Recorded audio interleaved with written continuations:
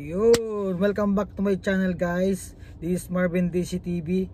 Kung hindi ka pa nakasubscribe sa aking channel, please pasapak na yung notification bell para update ka sa panibagong video.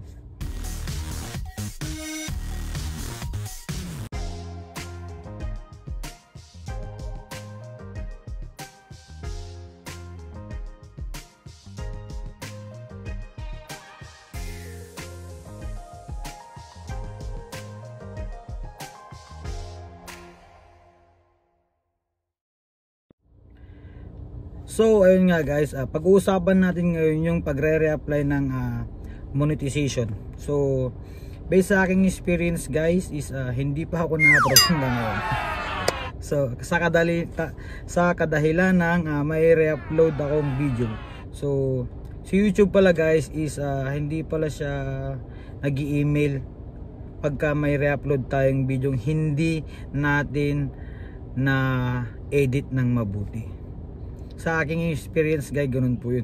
Pero yung mga copyright music yun nag, nag email siya. Pero ito yung re, reuse video o re-upload video hindi siya nag-email sa akin guys hindi siya nag-email sa akin guys. Nasilip lang ito ni YouTube guys yung aking reuse video nung nag-apply na ako ng uh, monetization. So yun guys.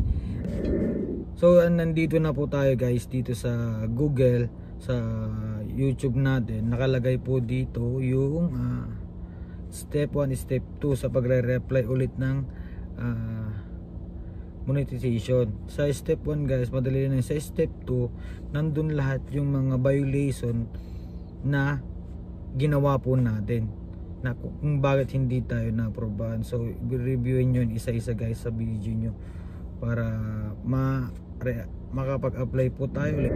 Sa, sa mga small YouTuber dyan guys is uh, kung may mga reuse video man kayo na hindi nyo na sa inyo, hindi nyo na video is bago kayo mag-apply guys is burahin nyo niya po yun.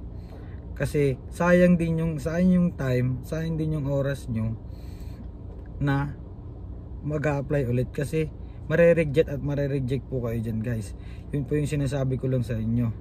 So sa aking experience guys na ganyan po yung nangyari sa akin. So sinishare ko lang po itong uh, experience ko sa inyo guys para upang sa ganun is uh, malaman nyo din kung kung ano nyo po ang kung ano na yung uh, gagawin nyo sa mga katulad kong small youtuber so ngayon guys uh, maraming salamat sa inyo sa pagkikinig at sana patuloy nyo kong suportahan sa panibago kong video. So ayun lang guys, maraming salamat. Thank you.